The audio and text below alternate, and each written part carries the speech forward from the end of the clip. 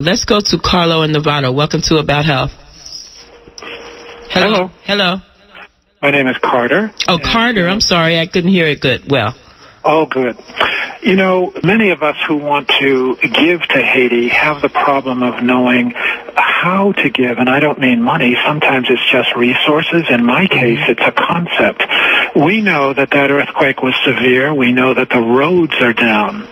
We know that they're going to have to rebuild those roads in order to get infrastructure throughout Haiti built because trucks cannot traverse in many mm-hmm. cases those roads. Mm-hmm. My concept that I'd like to offer, it's I'm placing it in the public domain for Haiti and any country, including ours, as the, is that as they rebuild those roads, that they place very inexpensive in today's world, and they'll become less expensive, photovoltaic material on both sides of that road, mm-hmm. meaning in the median strips and on the roadbeds, so that their electricity is made for the people. That sun belongs to us. Ah. And if we ah. place photovoltaic materials on our roadbeds, which typically have rights of way that are already paid, infrastructure that's already paid for, mm-hmm. you place photovoltaic materials on the road, collect the sun, plug into the electrical infrastructure that either exists or will exist after this earthquake, mm-hmm. and our Haitian brothers and sisters have sustainable uh, electricity, and they're going to need that to become uh, to to to make their future better. All and right. I just offer that. Okay. I'd like to know where to send such an an initiative. For example, I was thinking of Wyclef's organization,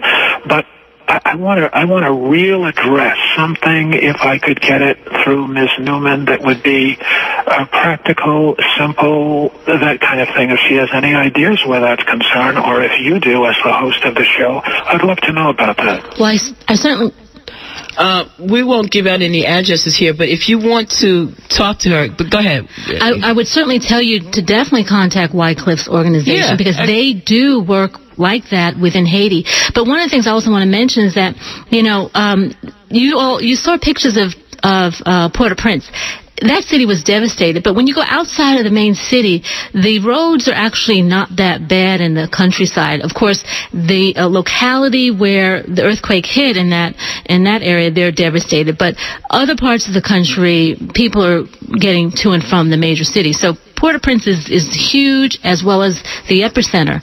But uh, certainly Wyclef's organization, um, Yele.org, would be the one to help facilitate that. And like I said, we have our, our email address if you want to call me after the show or yeah. email me. Okay. um, and I do want to thank you for that suggestion. I love the idea that we're out there thinking about ways. Now, the, the problem that I have, though, is if people are not eating, um, they're not going to be able to put photovoltaic anything anywhere. So it's important that we do do that, though. I like the idea of maybe some private entity or nonprofit entity here in the United States saying, we'll fund this. We'll go and do this and help them learn how to do this so that they can do it themselves and then it becomes sustainable. And it's not just an opportunity um, for some entrepreneur here. So uh, uh thank you for the ideas. Keep them coming. We're still looking for the congressperson that we need to uh, lobby to get those funds if you have any ideas or information about that out there, you can call us at 1 800 958 9008 or 510 848 4425. Dr. Numan? So Numan? One of the things that that came to mind is you know we all see the big box stores um, home depot mm-hmm. lowes and a lot of the stuff that they have at those facilities and a lot of their manpower they have the ability to help haiti rebuild in a in a big way but we need them to start realizing that they need to take a, they need to make a special effort Mm-hmm. It's not going to be easy for anybody to do this.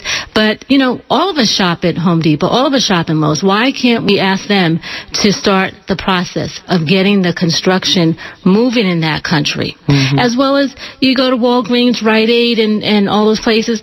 You can ask, you can ask your individual store, head, what are you, what is your store doing to help mm-hmm. the Haitian people because medicines is is really a big issue. And it sounds like organization is the big thing. I mean, even if we had a hundred people here ready now to give services, how would that happen logistically? Where would they stay? Who would they contact? So all those things still need to be done. But I like the idea now of um, asking the big box stores, what about the unions? They have a lot of laid off workers. They have training money maybe left over. Maybe they can use some of that to support um, a cadre of construction workers to go over to Haiti and, and, and give their services for six months or something like that. You know, you're absolutely right, Joi. I remember back in January when all this happened, you know, there were people willing, ready to just go over there. But what didn't happen was the organization yeah. so that people weren't, because a lot of my colleagues went over there and some of them were pissed off because they were sitting around and doing nothing, nothing. because yeah. they were in a, in an area that didn't have the people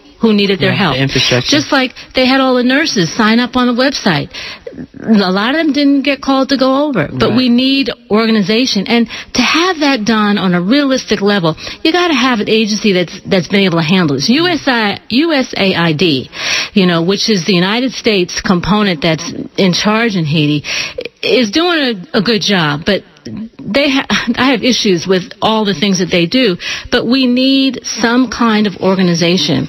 And while I'm not saying USAID is the answer to everything, we need an, a, a, a large organization that has the experience of moving manpower. Mm-hmm. And we need commitments. We need like rolling commitments of people who are willing to give of their time to go spend some time in the country and work when the call is made. Mm-hmm. But that, you know, that's, that's a huge undertaking. I know. You know what? I would love to see Wyclef and, and people with star, stars with money um, get together and support um, a group of Haitians to go back to Haiti. Because who better, you know, in terms of language and logistics and um, relationships and all, the people who have migrated to the United States who are Haitians, if they could be helped and supported and organized to go to Haiti and help, I think that would be a great thing. Too. Well, one of the one of the partner organizations that we work with is a Medical Society of Haitian Americans out of New York City, which mm-hmm. is my hometown, okay. and uh, and they've been they've been going they've been there since before the earthquake, but since the earthquake, they have they've been there almost every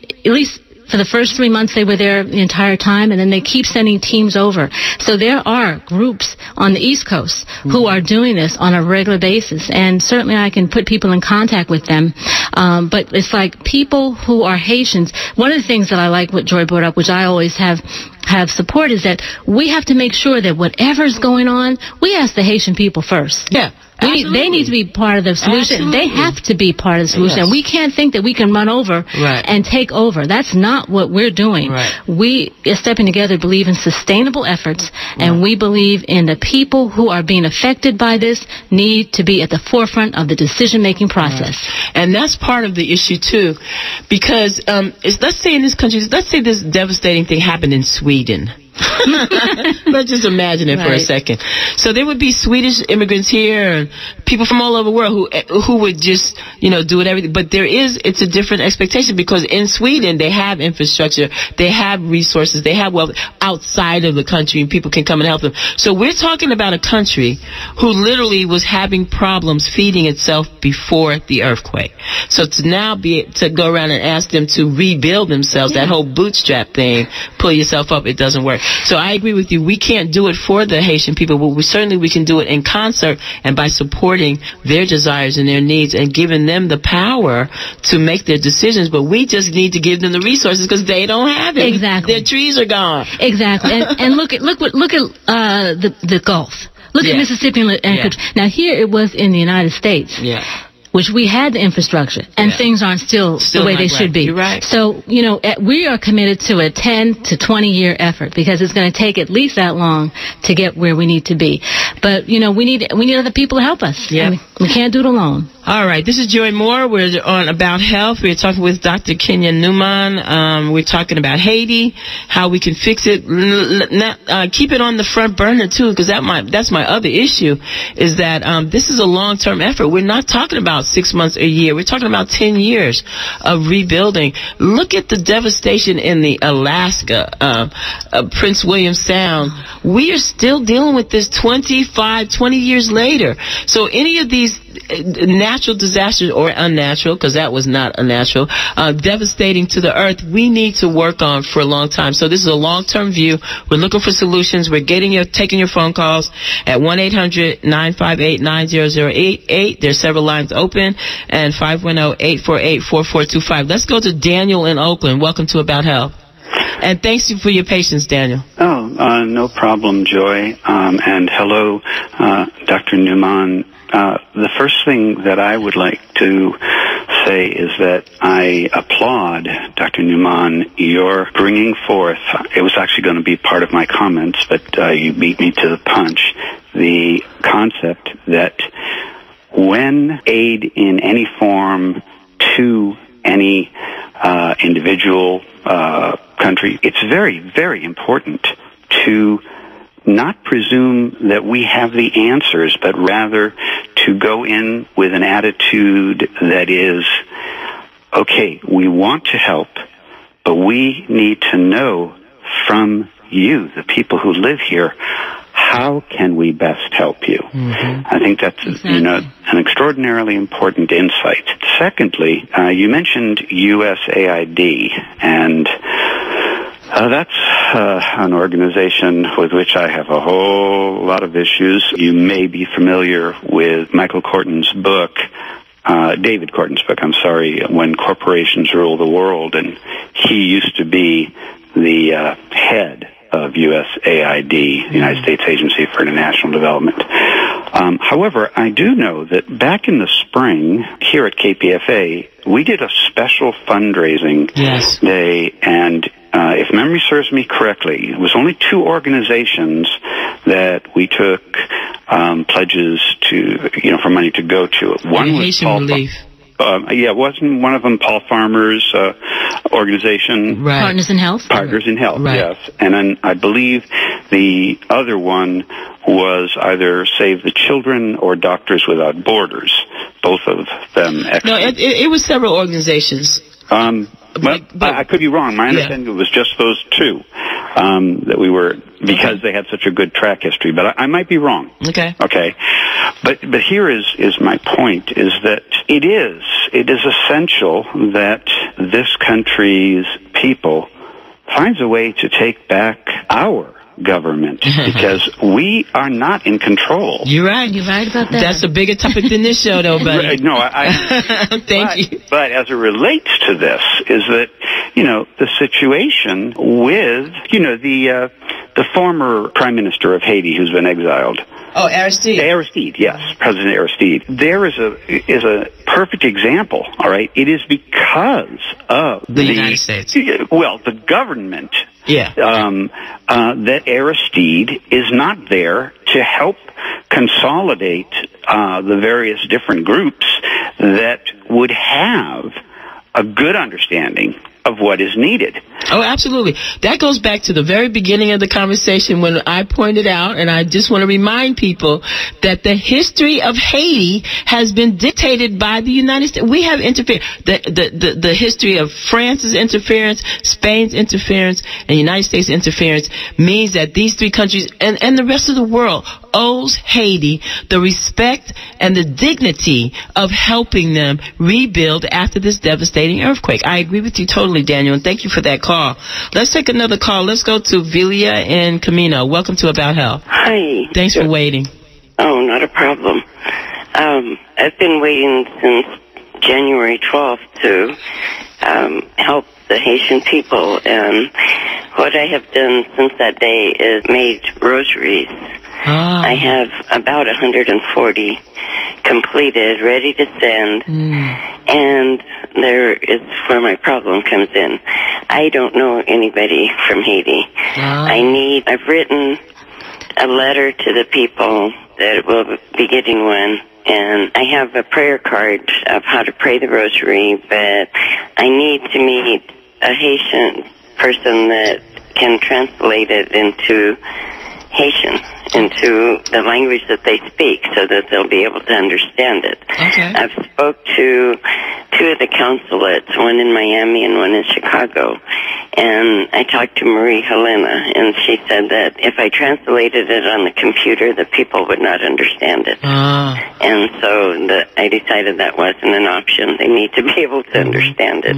Right, the language is Creole, although they do speak uh, French in the country, but the language of Creole is spoken amongst the people. The children who go to school uh, learn French, and they also learn Spanish when they get to high school. So certainly, if you contact my organization, we can certainly give you some uh, contacts within Haiti and within the United States who will be willing to help you with that, with your mission. Okay. And Thank thank you you. for sharing that with us.